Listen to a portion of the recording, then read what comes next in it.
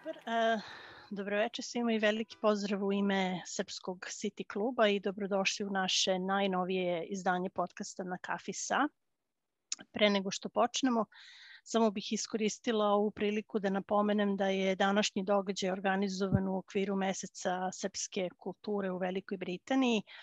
Ove godine je 14. po redu i kao i do sada glavni cilj ove manifestacije je promocija naše kulturne baštine i nama Srpskom City klubu je velika čast i pravo zadovoljstvo da svojim učešćem i angažmanom podržimo ovu veoma važnu tradiciju za nas koji živimo i radimo u Ujedinjenom kraljevstvu.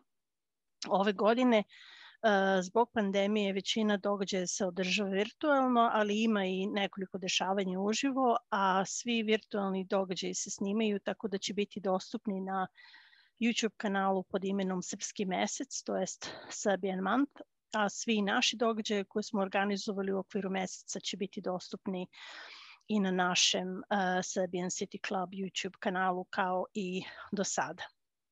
Uh, do sada je već bilo sijaset veoma zanimljivi i ja vam predlažem da pogledate snimke, a naravno uh, sama manifestacija traje do 1. marta, što znači da ima još dosta zanimljivog sadržaja ukoliko želite da pogledate. A sada da se vratimo našem događaju i mali podstrag da ako želite da ovaj razgovor čuju i vide i drugi, molim vas da pritisnete like i subscribe dugme. I ukoliko želite tokom današnjeg razgovora pitanje možete da pošaljete putem Zoom čata.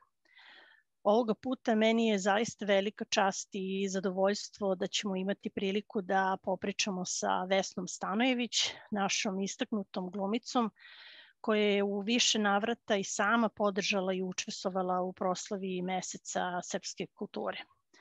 Vesna je glumom počela da se bavi u amaterskom pozorištu Susret, a glumu je završila na Fakultetu dramskih umetnosti, Glumila je u Jugoslovenskom dramskom, Beogradskom dramskom pozorištu, Ateljeu 212 i drugim teatrima u mnogim predstavama, uključujući Maska, Ivanov, Luda Keopatica, Srce od Rubina, slika Dorijana Greja, Macbeth, Nick Cave, Elektra, Kosa i mnoge, mnoge druge. Popularnost je stekla glavnom ulogom Silije u filmu Posljednji krug u Monci, a nakon toga igrala u mnogim filmovima i serijama kao što su Tri karte za Hollywood, Tamna je noć, Šta radiš večeras, Dome, slatki dome, Gospođa ministarka i tako dalje. 1998. godine odlazi u London gde završava četiri godine postdiplomskih studija a tokom njenog boravka u Jedinom kraljevstvu glumila je u mnogim britanskim serijama kao što su The League of Gentlemen, uh, The Traitors, kratkim filmovima i My Father Eduardo, Only by Chance i Helena. Osim toga, počinje da predaje glumu na prestižnoj školi Royal Central School of Speech and Drama, univerzitetu u Londonu gde je redovni profesor od 2006. godine. Na domaćoj sceni nastavlja sa radom gde je angažovana u uh, serijama Greh njene majke, Cvat lipe na Balkanu, uh, Samac u braku, Ubice mog oca, Urgentni centar, ima ulogu Helenu u igranom filmu Povratak i princeza Olivere Lazarević u dokumentarno igranom filmu Put ružama posut, a u poslednjih par godina je bilo deo ekipe Crna svadba i Nečista krv lista zaista ide u nedogled, ali samo ukazuje na fantastičan opis i zašto smo hteli da nam baš Vesna bude gost uh, ove emisije. Draga Vesna, još jednom ti zaista neizmjerno hvala što si pristala da budeš naš gost, jer znam da si trenutno veoma angažovana i da sa nama podeliš tvoju vrlo, vrlo zanimljivu priču.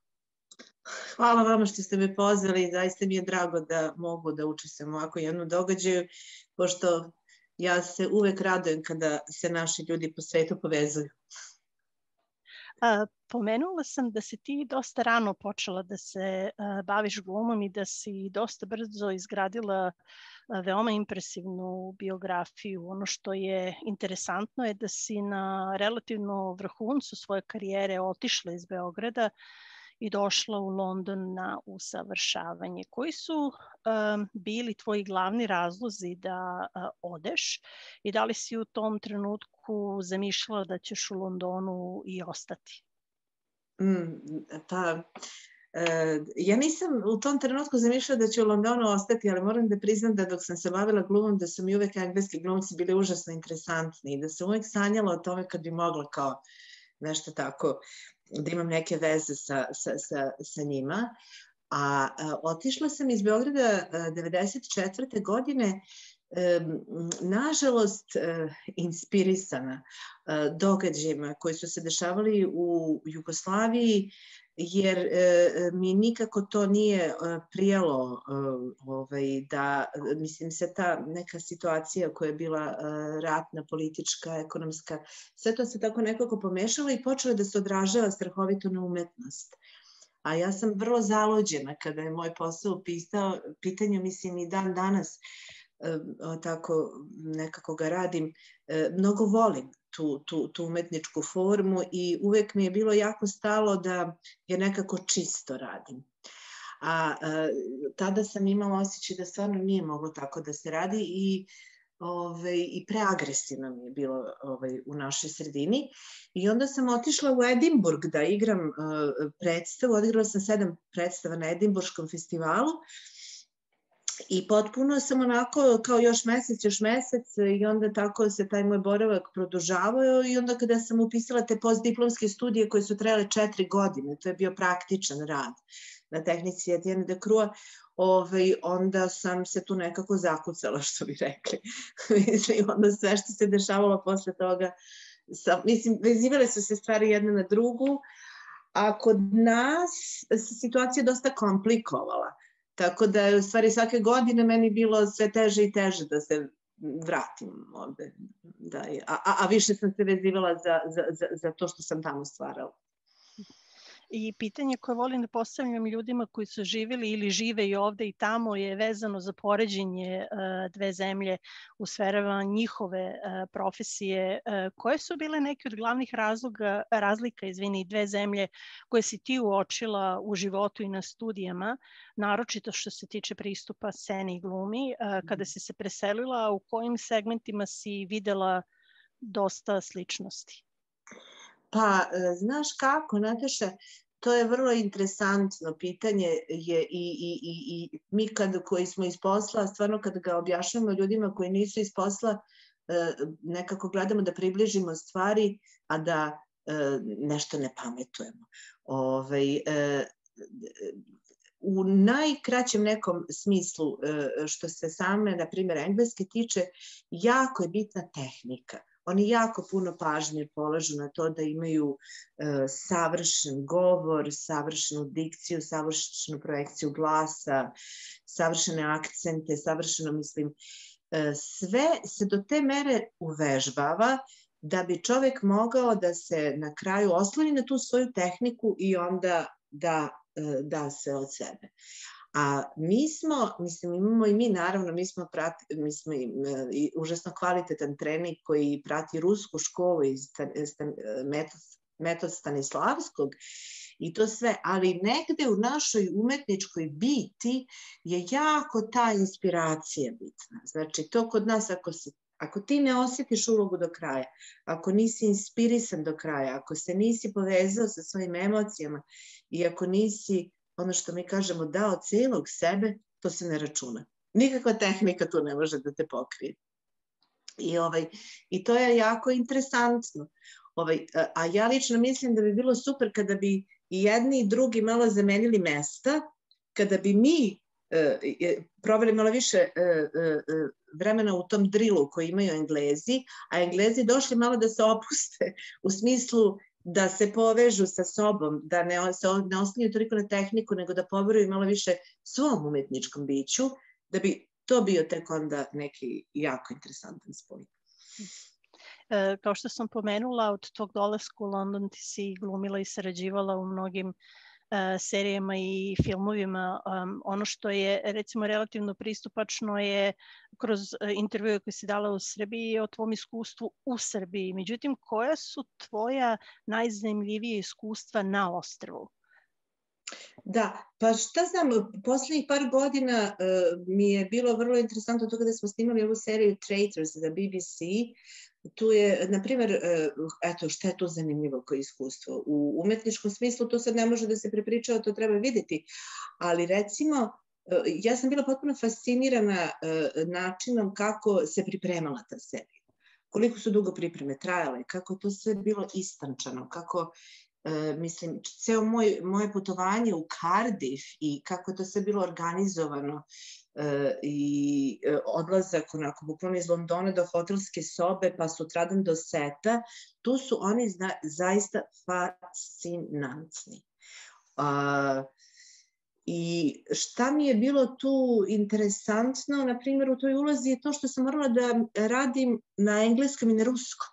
Ja sam igrala rusku jevrejku i ovaj, I onda sam e, morala da, znači vežbam engleski sa ruskim akcentom, a ruski sam morala da govorim kao da je moj materni. I to mi onako bilo, baš sam bila napeta. Zato što sam, više sam se plašila toga da kako neki Rus ili Ruskinja budu ovo gledali pa da mi ne nađu neku manu, nego ovaj, mislim samih Engleza. A sa kolegama mi je bilo izuzetno lepo i sa rediteljem zato što uh, oni rade tako da zaista gledaju da vas ne ugrožavaju, a daju vam uh, uh, prostor.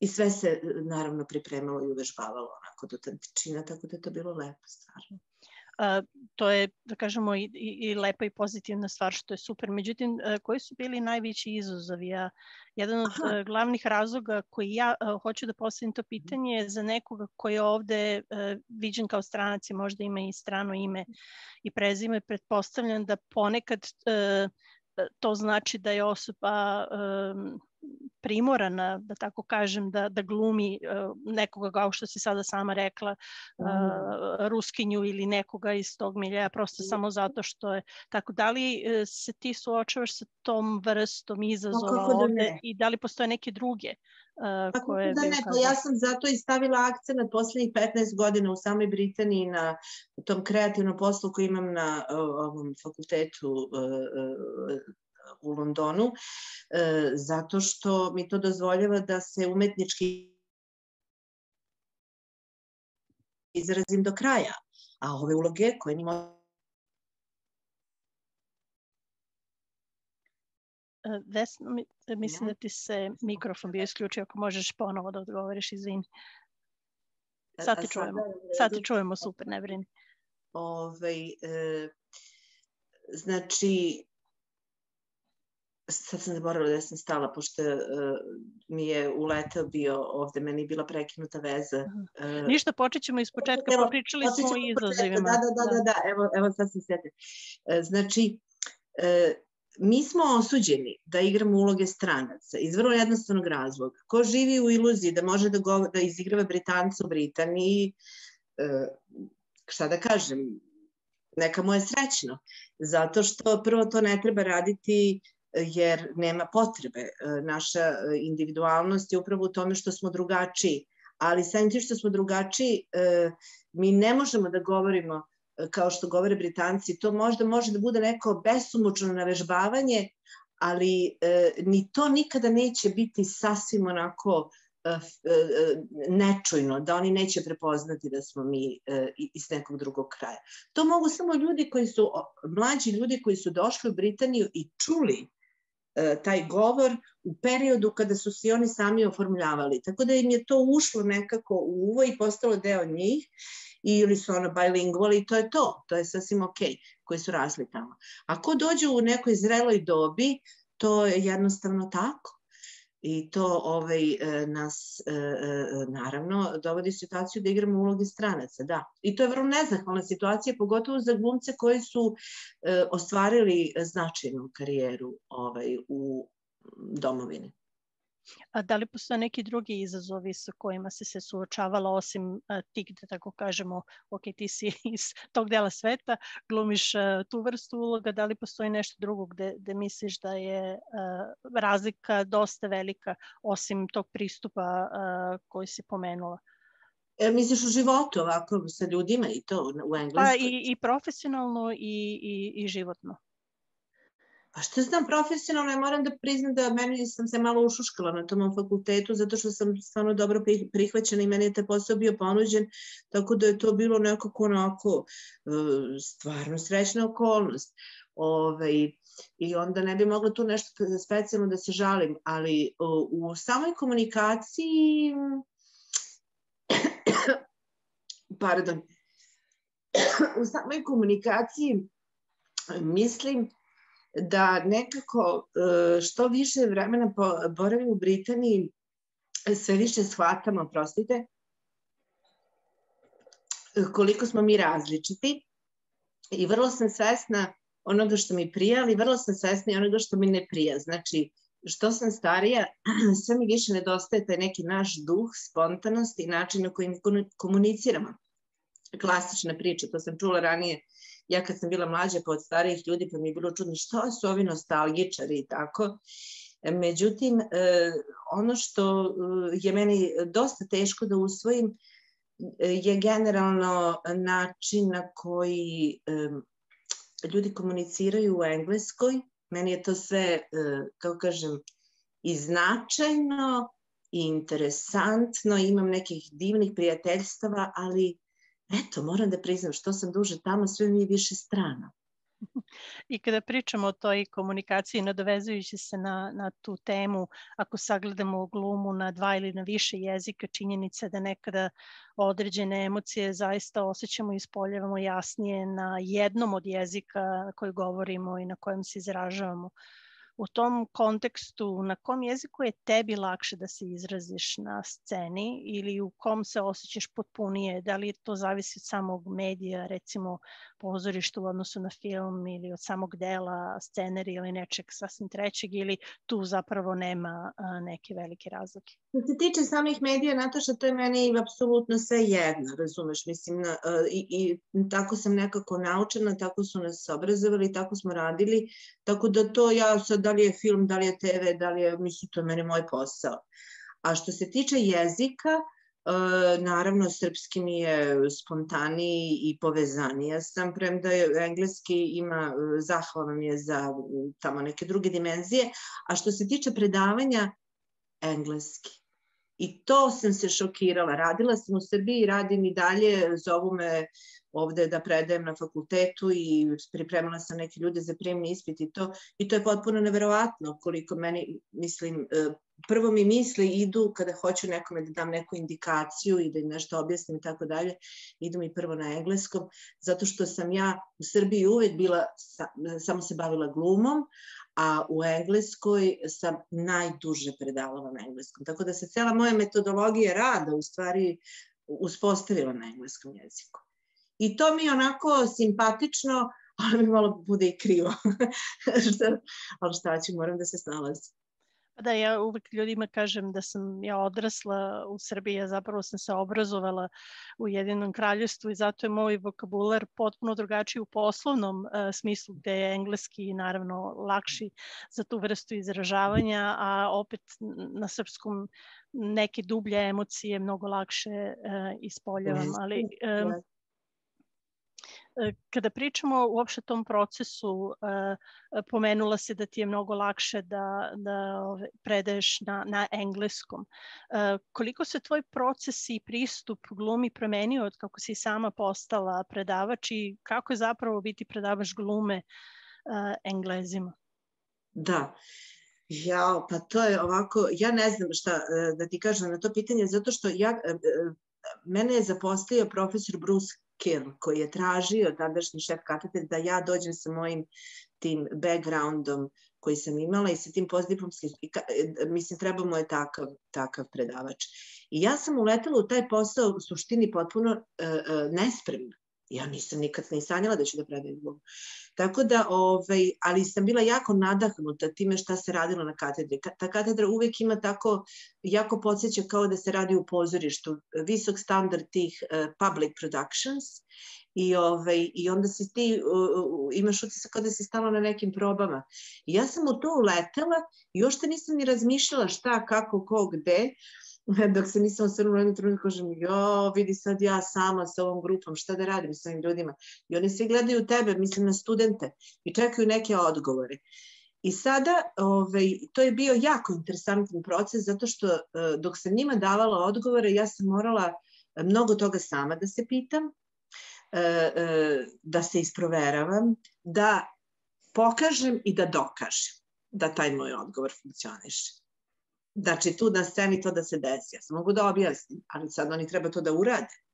I, ovaj, I to je meni potpuno fascinantno ovaj, bilo kao proces, moram da priznam. I ovaj, naravno da se odrazilo na to kako ja sada uh, glumim i kako uh, gledam uopšte na jednu situaciju. Mislim da nisam, ja mnogo volim da sarađujem sa rediteljima, ali mislim da nisam u toj nekoj, kako kažem, zavisnosti samo od njihovih indikacija, nego prosto mogu da uh, predlažem i sama i da se snađem ako su neke malo teže okolnosti. I koliko je bilo izazovno uh, baviti se E, pošto je gluma kao takva nekada jednostavnije raditi uživo. Naravno imali smo uh, situaciju sa uh, pandemijom protekle dve godine što nas je sve primoralo da promenimo pristup uh, radu i naravno rad od kuće je postao neka vrsta norme. Kako je to uticalo na tebe i na, na taj proces sa studentima? Koliko je bilo teško ili lako da se prilagodite toj novo nastaloj situaciji? U početku je bilo jako teško, svi su bili u panici. Ceo fakultet je bio u panici, ove, kako će se to sve dešavati. Međutim, nekako e, jako smo se dobro organizovali i disciplinovali i e, mislim, šta da kažem, ja sam za dve godine održala ne znam nija koliko časova, ne znam koliko prijemnih ispita, izrežirala sam jedno 4-5 predstava online, sve mislim onako, i ka, stekla sam neku vrstu kako, dodatnog uh, uh, zanata, šta li, da mogu to da, da radim online. To je jako naporno, ali uh, u konkretno našem slučaju se čovjek prebacuje više na neki fokus kao da radi ovaj glumac ispred kamere i kao da sam ja reditelj iza kamere i onda e, e, pokušavamo tu naravno da uspostavimo neku vezu. E, uspeli smo jako dobre ispite da izvedemo showreel nam je bio isto fantastičan, čak je velika korist toga bila što kada ranije su za showreel odlazili casting directors i ovi agenti da gledaju naše studente na West Endu i to bi bio jedan dan, bukirane dve predstave, ovaj, a sada mi smo napravili showreel koji je išao online i materijal može se daje non stop i stotine i stotine e, više ovih ljudi iz industrije su videli rad naših studenta studenta. Tako da je to benefit, mislim. Te. Pa da, super. To je, mislim, prednosti ako mogu tako da nazovem, situacije u kojoj smo se naši su uh, stvari u kojima nismo razmišljali, gdje smo mogli da pretpostavimo da će olakšati neku vrstu rada, pa čak i nama u klubu uh, ovakva vrsta intervjua uh, koja je pristupačnija, lakše razgovarati sa ljudima bez obzira gde su oni je nešto što nismo mogli da zamislimo pre 3-4 godine, a eto sada je postala neka vrsta normale i zapravo nešto što je sasvim ok. Ne gubi puno na na, nekoj suštini. Pretpostavljam da je tako i, i ovaj, kod tebe na fakultetu.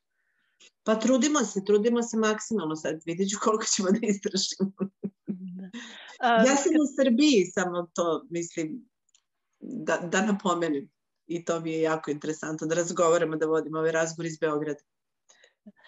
I kada pričamo o studentima, ti uh, zaista imaš uh, jedan jako lep uh, odnos i pristup studentima kako u Londonu, tako i u Srbiji. Koji bi bili neki glavni saveti koje bi ti dala nekoj mladoj osobi koja razmišlja da se otisne u, u te vode? Na što bi trebali da obrate pažnju? Um ja bi im dala savjet ovako. Savjet broj jedan bi bio nemojte samo da žudite da budete celebrities. Ako vam je to cilj, onda uh, uh, to ovako nije dobar povod da se upiše gluma. Ali ne kažem ne budite celebrities. Naravno da treba da se dođe i do toga, ali to ne bi smela nikako da bude cilj. Ove, ovaj, to je jedna stvar. Druga stvar je da se uh, ozbiljno pozabave svojim potencijalom, svojim snagama, znači da se pripreme tako da ono što je jedinstveno njihovo prezentuju na audiciji, a nikako, nikako da se ne oslanjaju na nečije mišljenja kako nešto treba raditi. E, ovako se igra Julija, ovako se igra Hamlet, ovako se igra ne znam nija šta. Ne, nego upravo da gledaju ako mogu da nekako ono što njima njihova intuicija nalaže, glumačka intuicija, da to usavrše do kraja pre nego što odu na prijemni ispit. I naravno da se jako, jako dobro spreme. Jer onda trema i cela, cela ta presija koja se dešava na prijemnim ispitima neće moći puno da ih ometa.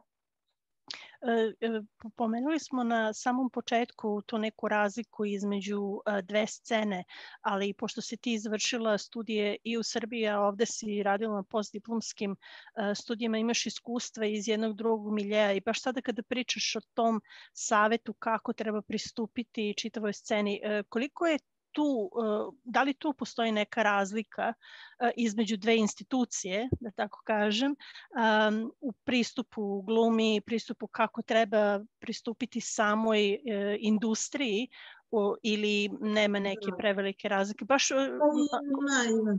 Ima, znaš, ima u pripremama, zato što, na primjer, kod mene na fakultetu već kada završe studenti drugu godinu glume, oni počinju da uče kako da prave, uh, kako da se slikaju, kako da prave svoje fotografije, kako da piše svoj CV. Na trećoj godini svaki njihov rad pogleda jako puno ljudi iz profesionalne industrije. Hajde što oni pogledaju, dođu na te naše predstave i gledaju njihov rad, ali odmah nakon toga agenti pokazuju svoj interes. Tako da naši studenti mogu da budu recimo treća godina, zimski semestar i da imaju tri ponude od agenta i E, to je lepo što oni imaju ponude, ali sad oni treba da idu da razgovaraju sa njima. Onda oni uče kako da razgovaraju sa njima, pa kako da to odlože možda da do kraja godine i tako dalje. Tako da se, uh, uh, ja lično nisam velike pristalica toga, ovako iskreno da budem, mislim da je to malo, malo isforsirano, na zapadu i ja lično ne bih to radila tokom cele treće godine. Ja bih ostavila to za negde pred kraj i e, ostavila bi da, da taj glumački proces potraje, da oni budu sasvim sigurni i onda. Ovaj, međutim, tako se stvari odvijaju na zapadu, oni se pripremaju na vreme da budu potpuno osposobljeni da uđu u industrijske vode i sada kada uđu neki bivaju sigurni u sebe, a neki baš i ne zavisi gde je ko, jer tri godine ipak jako brzo prođe na fakultetu, tako da, ovaj, ali to je, to je velika razlika. Dok, na primjer, kod nas e, je to malo drugačije, kod nas se više forsira trening. Duže traje, duže traje i onda se negde pred kraj polako i ne tako intenzivno ljudi pripremaju za profesionalne vode.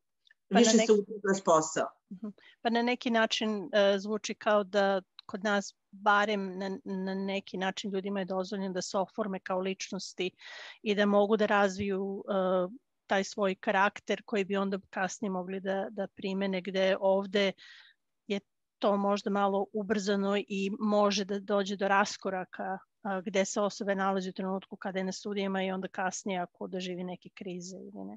Pa jeste, ali znaš šta i ova uh, sredina je manja ovde, tako da ovde reditelji mogu da, od, da obiđu za nedelju dana sva pozorište, da odi, ako ih je hitno potreban glumac, da odgledaju sve ljude koji rade i sve znaju, a u Londonu je mnogo veća konkurencija u Britaniji. Tako da, zato nekako kod nas baš nije još to ni zafunkcionisalo to sa tim agentima, kastizima i to, to baš malo nekako sporo ide. um, I uh, uz tvoj rad na fakultetu uh, u Londonu ti si nastavila svoju karijeru i u Srbiji i trenutno si tamo, kao što si rekla, gde neprestano glumiš u uh, vrlo zapaženim ulogama i filmovima.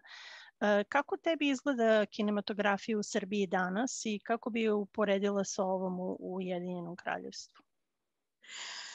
Pa tu sad ja neću otkriti Ameriku time što ću reći, ali kod nas je došlo do dosta velikog zastoja poslednjih 20-30 godina ovaj, zbog svima nam poznatih razloga. Ja lično ovaj, e, manji problem imam sa tim što možda nismo imali dovoljno sredstava da radimo kako smo želeli da radimo, ja sam više imala problem sa temama kojim su se naše filmovi i naše serije bavili, jer e, ja mislim da umetnost nudi šansu da čovek iskreira jednu novu realnost i da, se, da nešto drugo kaže, da ne ponavlja samo ono što se već dešava u realnosti, ali sticam okolnosti to se tako uh, kod nas odvijalo. E sada vidimo ovde se puno radi, čak kažu i previše i malo su ljudi nezadovoljni nekad kvalitetom zato što se prosto štancuju neke serije i to sve, ali opet sa neke treće strane vidim da se pojavljuju neki divni, mladi, sposobni ljudi, potpuno, mislim, neki reditelji, producenti i divni glumaci, imamo, božanstvenih mladih glumaca imamo.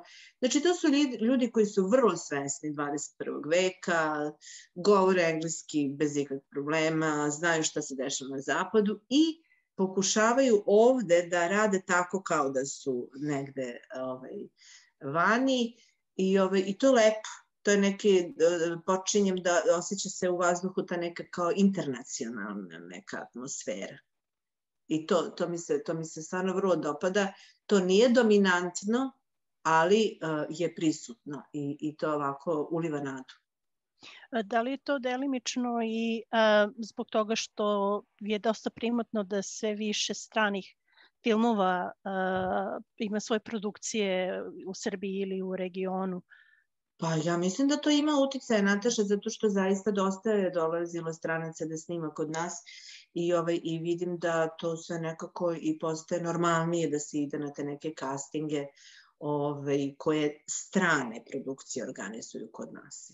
Ove, e, I tu ljudi dobijaju uloge ne neke prevelike na engleskom jeziku, ali e, se to dešava, da. I pretpostavljam da to onda može da bude na neki način a, neka vrsta odskočne daske, jer a, tu i tamo vidimo onda naše glumce koji se pojavljuju u nekim drugim produkcijama koje nisu samo te snimljene uh, kod nas, već budu pozivani uh, da budu uh, glumci i u drugim serijama i filmovima, što jeste ohrabrujuće sa jedne strane. Pa da, naravno, treba sarađivati, mislim, treba stalno da se neka razmena dešava, ali ja pre svega mislim da treba vratiti naš posao na noge sasvim ovde u Srbiji, jer ja mislim da imamo ogroman potencijal da se izrazimo u tom smislu i e, lično bih voljela da i naše pozirište i naš film onako da ako mogu da se oporave u potpunosti. A gde, a gde misliš, uh, koje su to sfere ili delovi uh, industrije koji, kojima je potreban um, oporavak ili gde taj oporavak e, e, u smislu možda e, najpotrebniji. Ne mislim sada da je nešto loše u odnosu recimo ako, pri, ako poredimo sa industrijom ovde, već prosto zbog svih, svega što se desilo i samo se pomenulo imali smo situaciju pre 20-30 godina koja je uticala na sve grane i sfere života, ne samo na, na filmsku i pozorišnu industriju. Gde ti misliš da bi trebalo da se uloži najviše? Ne mislim samo u monetarnom a, smislu i koji, koje grane same industrije bi možda trebale malo, kojima bi trebalo malo više se posveti pažnje? E, ja mislim da pre svega treba da se posveti više pažnje e, e, individualnosti ljudi sa kojima se sarađuje. Znači, nije tačno da svako može da igra sve. Nije tačno da bilo ko može da režira mislim neko, ono kao, ma ne veze, ne mora on, nego neko drugi. Nije tačno, znači, da neko snima ili da će da komponuje muziku, to, ti ljudi moraju da se biraju. Kriterijum po kom se ti ljudi biraju treba da bude istinit. Tu treba da se dese neke promene pre i posle svega. Nije sve u novcu. Strašno puno para se baca zato što taj kriterijum ne postoji.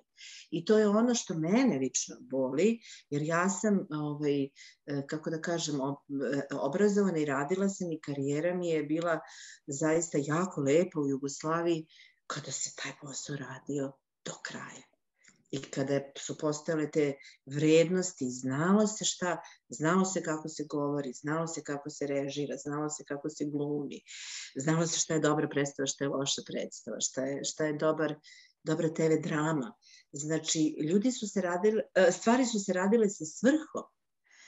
E, tu smo se malo ubrzali, tu smo se malo zaneli i tu smo počeli da pravimo neku premetačinu da svi mogu da rade sve, samo dok se to još desi onako nekako, kako bih rekla, u što bržem vremenskom roku i milina. Znači, ja u to ne verujem. Stvarno to, mislim, stvarno to ne verujem i, i žao mi je što je tako, ali valjda ova tehnologija nas se pospešila da dođemo do toga, između ostalog.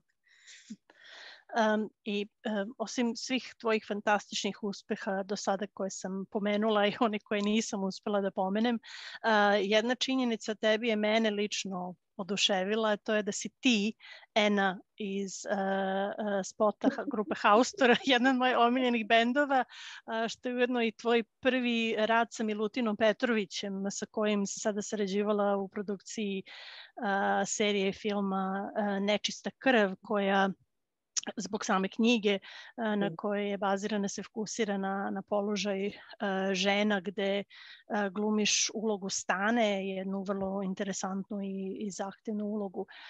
Do sada smo, barem ja, često čula da je za ženu u određenom dobu teško naći zanimljive uloge koje su slojevite i složene i koje glumcu daju mogućnost da to i pokaže na neki način, možda sada pravići tu paralelu sa individualnošću koju si pomenula. Da li je to zaista tako i ako jeste, da li misliš da se taj trend menja i šta bi ti zapravo volila da vidiš na tom polju kako bi se to unapredilo? Pa da, jeste tako, jeste tako. Mislim da e, bilo godinama da mnogo više ima muških uloga, ženski likovi su mnogo interesantniji ako su neke funkcije, e, ako, ako su mlađe onda ima više i tako dalje. Međutim, to se menja, menja se zaista i to je dobro. E, ne daju se žene, sve više pisaca, sve više reditelja, sve više pažnje posvećuju psihologiji tih ženskih likova ovaj, e, tako da e, ja mislim da to ne treba raditi kao nekakav otpor samo prema tom pređešnjem talasu, nego jednostavno, e, šta znam, treba ljudi nekako da se izraze, pa šta ko stvarno ima da kaže. Da, zašto da ne, treba dati ženama više prostora e, e, i e, ne znam, ja s jedne strane to kažem, a sa druge strane dok to govorim imam neke naše uh, velike glumice u glavi koje sad imaju 65, 70, 75 godina koje su ostvarile fantastičnu karijeru. Uh, mislim da pre svega ne treba odustajati i da čovjek ne treba sam sebe da, kako da kažem, otpiše u tom smislu. A, a, a i to se dešava glumicama. Uplaše se. Uplaše se i kao, nego jednostavno uh, ta dobu u krajnjoj liniji ne bi trebalo tako da bude ni bicna, jer umetnik uvijek ima nešto da kaže. Da, i kada sam to pomenula i postavila pitanje, nisam mislila da je to uh, simptomatično samo za Srbiju i region. Da, da. Uh, bilo je vrlo sličnih situacija i ovde na ostru uh, pretpostavljam da se to menja generalno u, u svetu, da, da. tako da je lepo videti ovaj, da postoje glumice, kao što si rekla, koje su uspele da naprave karijeru i da budu neka vrsta inspiracije novim generacijama. Jeste, kako da ne, pa u Britaniji se vrlo neguje to sad i vodi se čak računa i na fakultetima da se ne igraju samo muški pisci, nego se baš traži od nas da malo proberemo da to bude malo više šarenije, da su žene, da su neke druge nacionalnosti, već tekstovi sami. Mm -hmm. Pardon. Um, kroz uvod sam takođe uh, ukazala na to da je tvoja biografija zaista uh, impresivna. Međutim, ono što mene interesuje kako ti biraš svoje uloge um, i kako se odlučiš da e, pročitaš ili se zainteresuješ za neki tekst. Da. Pa, pardon, uh, to sabiranjem uloga e, ide nekako po osjećaju e, kada čitaš scenario e, i sada e, može neko da ti preporuči scenarij da kaže da je fantastično napisan i to ti ga čitaš i ništa ti nije jasno. Ove, ovaj, to već nije dobar znak. A kada čitaš scenario i osjećaš kako se povezuješ, već dok, već dok ga čitaš ti se povezuješ sa tom ulogom, sa replikama koje taj lik izgovara i čak ti i mašta radi negde smešta taj lik u neku sredinu i ti to zamišljaš na neki način e, kako se to odvija, to je onda dobar znak. To znači da postoji neka unutrašnja veza da ti imaš nešto toj ulozi da daš. I po, po, po tome čovek ovaj, se rukovodi.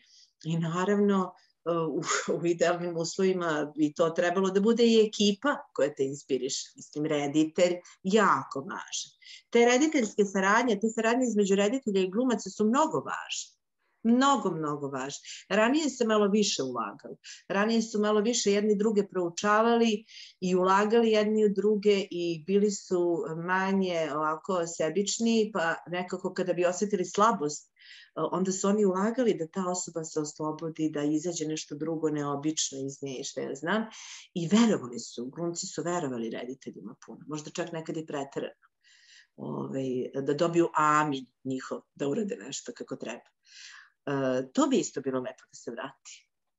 -huh. e, znači, na, e, na neki način ono što čujem je da kažeš da taj odnos reditelja i glumca da postoji neka vrsta malo dublje saradnje i um, ne kažem da toga nema i danas, ali uh, prosto uh, nešto gde je to viđeno kao pravi zanat, jer baš što si pomenula na neki način osjeća se kao da se neke stvari štancaju, da to tako brzo ide i da uh, nemaš osjećaj da postoji ta izgradnja, uh, to jest neka vrsta ulaganja u odnos između uh, glumca i reditelja, a i svih ostalih koji su deo scene i da zbog toga možda dođe do nekih propusta i situacija da ti možda ne izvučeš maksimum iz osobe koja ti je ispred kamere onda.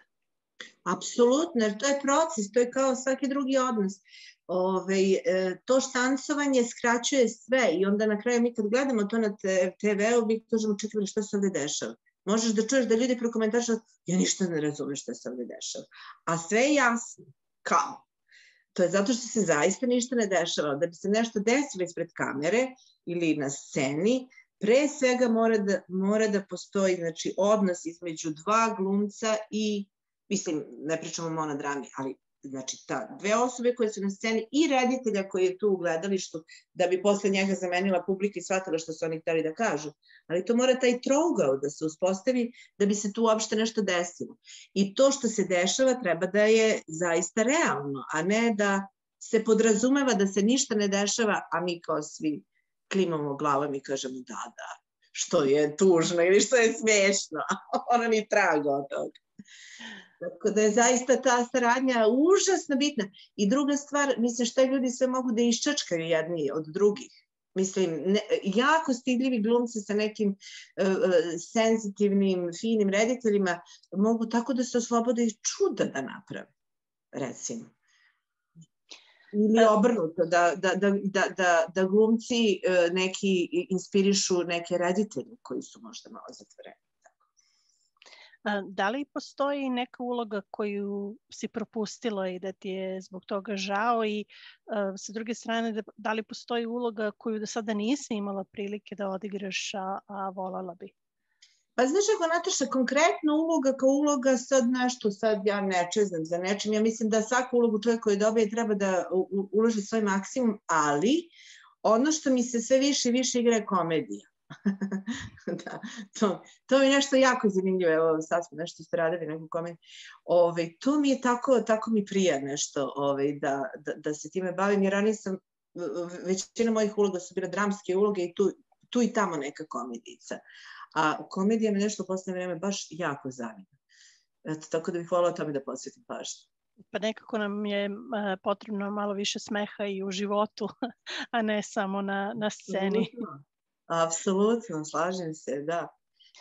Da li postoji neka osoba koja je tebi bila uzor kada si počinjala uh, sa ovim poslom ili da li postoje više njih koji su na tebe ostavili najveći utisak tokom uh, tvoje karijere, koji su tebe inspirisali baš u kontekstu ovoga što smo pričali ili ne samo u svetu, mislim, ne mislim samo na glumce, već možda i na režisere ili neke druge kolege sa kojima si sarađivala?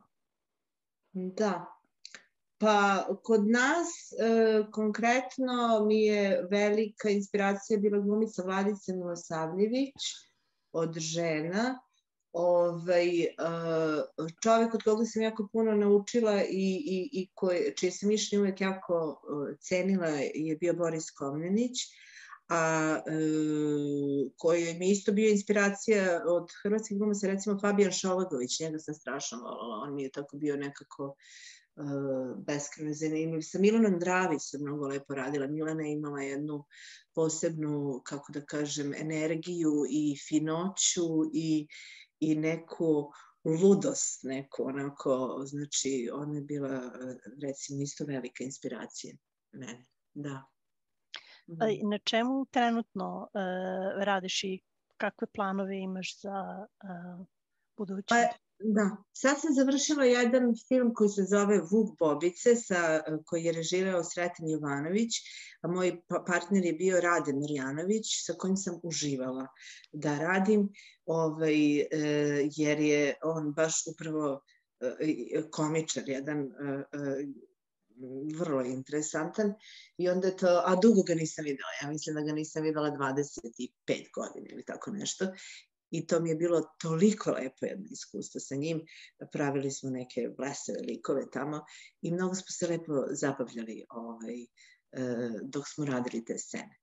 E, tako da to ćemo vidjeti, ne znam kad će taj film izaći, e, samo što smo ga završili. E, dalje nastavljam da predajem online odavde iz Srbije, dok e, mogućnosti ne dozvole da se vratim u London i posle bi trebalo da radim jednu predstavu u pozorištu ovaj, ovde e, koja se isto, pisanje tog komada piše se za mene, pa on se sada privodi kraju, zove se Bez viška reči zvuči vrlo uh, interesantno. Um, draga Vesna, još jednom ti zaista od srca hvala na izdvojenom vremenu, ali i od prilici da od tebe čujemo vrlo zanimljive priče iz uh, svete glume i neke uh, vrlo interesantne savete za buduće uh, naraštaje. Samo bih iskoristila ovu priliku da se zahvalim i svima vama koji nas i dalje podržavate i podsjetila da pritisnete ta famozna subscribe i like dugmiće kako bi doprli do što većeg broja ljudi i još jedan mali podsjetnik da je obeležavanje srpskog meseca i dalje traje i da imate i dalje vremena da